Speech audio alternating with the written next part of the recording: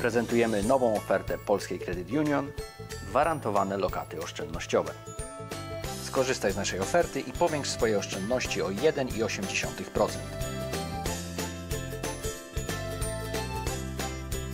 Wszystkie lokaty są gwarantowane i ubezpieczone na całą sumę wkładu. Nie zachodzi żadne ryzyko utraty kapitału. Skontaktuj się z oddziałem inwestycji lub biurami naszej Credit Union. Nie zwlekaj, oprocentowanie może ulec zmianie.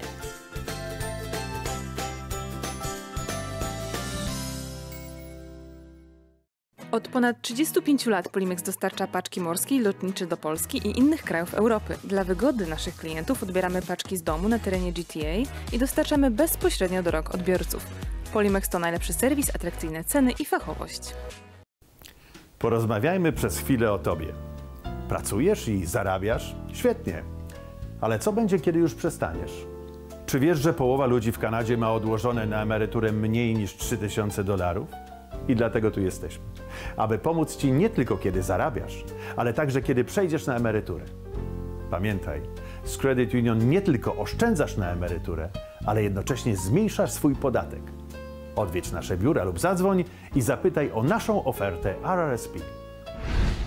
Polish Credit Union. To ma sens.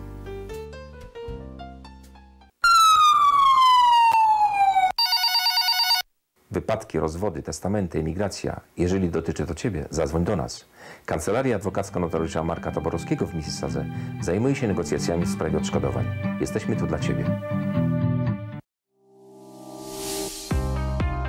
W Polskiej Credit Union tylko teraz. Specjalna oferta na nowe depozyty. 2,25% na okres 9 miesięcy. O szczegóły zapytaj w oddziałach Credit Union.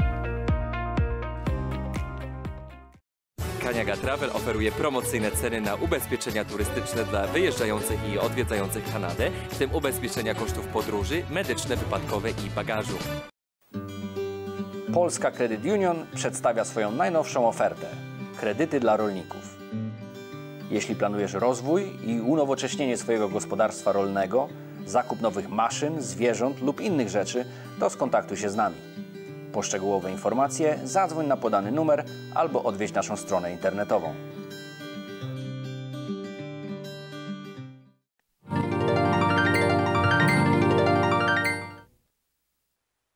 Dziś mija 78 lat od pierwszej masowej deportacji Polaków do Związku Sowieckiego. Pół godziny na spakowanie najbardziej potrzebnych rzeczy i rozkaz pozostawienia całego dobytku w domu. Potem czterotygodniowa podróż w zatłoczonym, bydlęcym wagonie bez żywności i przy kilkudziesięciostopniowym mrozie. Wreszcie bezkres głębokiej Azji, mrozy, głód, praca ponad siły i ogromna tęsknota za domem, za ojczyzną. Były cztery deportacje na wschód. 10 lutego to data otwierająca dramat sprzed 72 lat. W nocy z 9 na 10 lutego doszło do pierwszej wywózki Polaków w głąb ZSRR. Do kolejnych zsyłek doszło 13-14 kwietnia na przełomie maja-lipca 1940 roku oraz w maju i czerwcu 1941 roku. Celem była zmiana stosunków y, narodowościowych, społecznych y, na tych terenach, tak żeby one na trwałe już weszły w skład, skład y, Związku Sowieckiego, żeby zostały skomunizowane. Stąd po prostu masowe uderzenie y, w ludność polską, szczególnie w te grupy społeczne w narodzie polskim, które mogły być nośnikiem idei państwotwórczych, dążyć do odrodzenia niepodległości. Mówi dr Witold Wasilewski, historyk z Instytutu Pamięci Narodowej. Nie wiadomo, ile osób wywieziono w głąb kontynentu azjatyckiego. Mówi się, że mogło to być ponad półtora miliona wysiedleń. Pierwsza deportacja dotyczyła 150 tysięcy osób, głównie rodzin urzędników państwowych, sędziów, prokuratorów, wojskowych, policjantów, właścicieli ziem. O lutowej deportacji mówi się, że była najokrutniejsza i najtragiczniejsza ze wszystkich, głównie przez srogą zimę. Była jeszcze i zamieć a dziś mamy piękny, słoneczny dzień, ale również mroźny. Szczególnie mroźne są teraz noce, podobnie jak tamta noc. I teraz jak o tym myślę, bo byłam akurat 10 lutego wywieziona, to nie mogę sobie tego wyobrazić, jak myśmy przeżyli tam to noc i następne noce i dnie przez sześć lat. Zastanawia się Hieronima Dzierma, sybiraczka z Białego Stoku. Nie mogę dziś sobie wyobrazić tego, jak myśmy to znieśli, jak myśmy przeżyli. Szczególnie moja najmłodsza siostrzyczka, która zaledwie parę dni miała, bo się w styczniu, 22 stycznia urodziła tegoż roku. I takie to maleństwo jakoś przeżyło, chociaż pieluszki na niej zamarzały. Polaków wywożono pociągami. Składy miały liczyć 55 wagonów towarowych do przewozu w każdym około 30 osób. Miał być też wagon sanitarny i bagażowy. Z każdym transportem miał też jechać poza konwojem felczer i dwie pielęgniarki. Deportowani codziennie mieli dostawać jeden gorący posiłek i 800 gram chleba na osobę. Jednak rzeczywistość wyglądała zupełnie inaczej, opowiada Mieczysław Pluta, Sybirak. Nie było sanitariatu, ogrzewania ani żywności, a w każdym wagonie panował ścisk, bo jechało nim około 60 osób. Nie było nawet wody. To było i złe, i dobre. Złe, bo zaduch i różne warunki, takie brak higienicznych, sanitarnych yy, yy, miejsca takiego, więc po środku była tylko dziura. No panie się szybko organizowały, brały jakieś prześcieradło czy coś, osłaniały, bo to było krępujące dla wszystkich. Ale znowu z drugiej strony było dobrze, bo się wszyscy w skupisku takim przytulali i przetrwali ten mróz, bo kto był przy ścianie, to nawet były takie momenty, że przemarzały ubrania, przymarzały te okrycia, które mieli, szrolarz na nich był, ludzie umierali. Pierwszej deportacji śmiertelność była najwyższa, tak podczas podróży, jak i podczas ciężkich prac w dalekich prowincjach Związku Sowieckiego. Ja już miałem 10 lat i musiałem ciężko pracować. Nie było żadnego wyboru. Zima i lato. Zima była bardzo ostra, temperatury dochodziły do 50 prawie stopni. Ci, którzy dożyli momentu podpisania umowy z Sowietami przez generała Sikorskiego i formowania się jednostek armii generała Andersa, mieli szansę wydostać się z terenów deportacji, a po zakończeniu działań wojennych i dla reszty nadszedł czas powrotów. Ale na wschodzie wciąż żyją Polacy, którzy chcą wrócić, zaznacza Michał Dworczyk ze Stowarzyszenia Wspólnota Polska. Duża część z tych osób jest już e, w na tyle podeszłym wieku, że już o tym nie myśli, natomiast o powrocie. Natomiast e, chcą wracać ich dzieci, chcą wracać ich wnuki. E, jest to naszym moralnym obowiązkiem jako państwa, żebyśmy im to umożliwili. Dla Polaków mieszkających tam w nieraz bardzo ciężkich warunkach ważna jest też pamięć. Podobnie jak pamięć szczególnie wśród młodzieży cenią sobie Sybiracy, którzy póki mogą, chcą dzielić się z młodymi pokoleniami swoimi historiami. 10 lutego przypada także jedna z naszych piękniejszych rocznic historycznych. Dziś mija 98 lat od dnia, kiedy generał Józef Haller, wrzucając pierścień do Bałtyku, przyrzekł mu wierność. Nie był tylko symbol, ale wyraz głębokiego patriotyzmu. W Pucku generał Józef Haller zaślubił Polskę z morzem. W 1919 roku objął on dowództwo frontu pomorskiego, by pokojową drogą odzyskiwać odebrane Polsce w trakcie rozbiorów Pomorze. 10 lutego Polska odzyskała odcinek linii brzegowej, która wraz z Półwyspem Helskim liczyła 140 kilometrów. Jedynym portem na tym odcinku był właśnie Puck.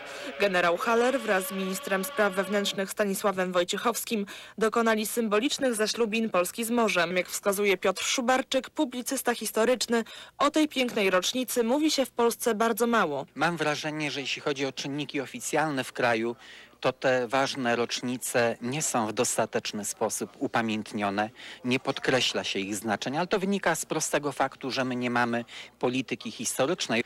Historia powinna służyć edukacji, zwłaszcza młodego pokolenia. Wystarczy przypomnieć Horacego, że historia magistra vitae est, historia lux veritatis est. Więcej szczegółów na temat zaślubin Polski z morzem, tej przełomowej daty oraz dotyczących budowy portu gdańskiego i utworzenia polskiej marynarki przedstawi Państwu pracownik University of Western Ontario w London Tomasz Kawa, którego pasją jest historia Polski i historia polskiej marynarki wojennej. Dzień dobry Państwu. Koniec I wojny światowej i postanowienia traktatu wersalskiego z czerwca 1918 roku przyniosły Polsce długo oczekiwaną i wywalczoną niepodległość wraz z dostępem do morza. Dużą rolę w otrzymaniu tego niewielkiego skrawka wybrzeża odegrała delegacja Kaszubów z Antonim Abrahamem na czele. Nie ma Polski bez Kaszubów, bez Kaszubów Polski. Tak mówił Kaszubski, przywódca, wielki patriota. Marszałek Józef Piłsudski, rozumiejąc potrzebę chwili, rozkazał w listopadzie 1918 roku utworzenie marynarki polskiej. Przejmowanie terenów traktatowych, w tym i Pomorza, nastąpiło na mocy umowy polsko-niemieckiej z początku 1920 roku. Pod względem operacyjnym odpowiedzialność za to przedsięwzięcie powierzono frontowi pomorskiemu pod dowództwem generała Józefa Hallera. 17 stycznia 1920 roku oddziały Wojska Polskiego wkroczyły na Pomorze. Dopełnieniem uzyskania dostępu do morza stały się zaślubiny, które odbyły się 10 lutego 1920 roku. Akt zaślubin nie był niczym nowym w historii polskiego narodu. Wiązał się z rytuałem zapoczątkowanym w 1000 roku, kiedy to biskup Reinbern odprawił nad morzem swoisty sakrament chrztu. Następne zaślubiny odbyły się w 1526 roku, gdy król polski Zygmunt Stary wypłynął z wojskiem z Gdańska na pełne morze. Dzień ten jest też traktowany jako symboliczny moment rozpoczęcia wydarzeń po 1920 roku, które zaistniały w niedalekiej przyszłości. Zagospodarowanie wybrzeża, tworzenie gospodarki morskiej, budowa portu wojennego i handlowego w Gdyni, co stanowiło przeciwwagę dla niby wolnego miasta Gdańska, a jednak zdominowanego przez Niemców. Zadanie wytyczenia miejsca pod nowy port Ministerstwo Spraw Wojskowych przydzieliło inżynierowi Tadeuszowi Wędzie, który po kilkumiesięcznym pobycie na wybrzeżu wybrał wioskę Gdynia jako najbardziej korzystne miejsce do budowy portu. Oto pierwszy szkic Tadeusza Wędy wskazujący Gdynię jako najdogodniejsze miejsce do budowy portu i pierwsza koncepcja portu. Do projektowania portu i falochronów stworzono laboratorium falowania. Za pomocą modelu eksperymentowano z różnymi wariantami ustawienia dodatkowych falochronów. Tak to wdziera się, wtłacza i zachodzi w niczyją bezpańską zatokę pierwszy port Rzeczypospolitej. Tak pisał Stefan Żeromski w Wietrze od Morza. 23 kwietnia 1923 roku nastąpiło uroczyste otwarcie tymczasowego portu wojennego i schroniska dla rybaków. Dokonał tego prezydent Rzeczpospolitej Stanisław Wojciechowski. W późniejszych latach główną rolę w tworzeniu miasta z morza i marzeń odegrał Eugeniusz Kwiatkowski, minister przemysłu i handlu, a w latach 35-39 wicepremier Rzeczypospolitej i minister skarbu. Budowa miasta wiązała się również z budową kolei i dworca głównego. Gdynia stawała się wojskową bazą strategiczną, jak i kurortem, a w szóstą rocznicę zaślubin z morzem otrzymała prawa miejskie. Wraz z budową portu i miasta wzrastała powoli liczebność floty. Zakupione zostały jednostki we Francji. Kontrtorpedowiec Burza, Wicher, a w Wielkiej Brytanii powstawały Grom i Błyskawica.